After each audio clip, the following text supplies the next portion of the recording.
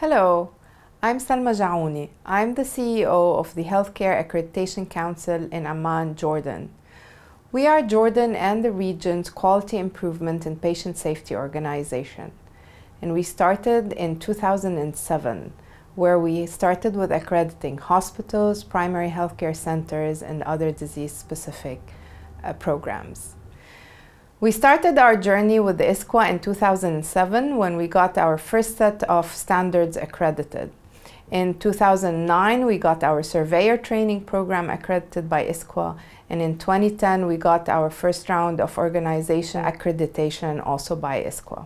That makes us the first organization in the Arab world who has and maintains the three ISQua accreditations.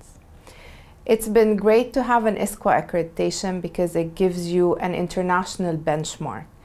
It being part of the IAP helps you work with similar peers, learn from them, and get educated by them.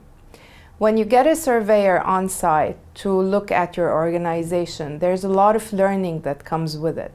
They're not there to inspect you, but they're there to give you or transfer to you the knowledge that's out there in the world.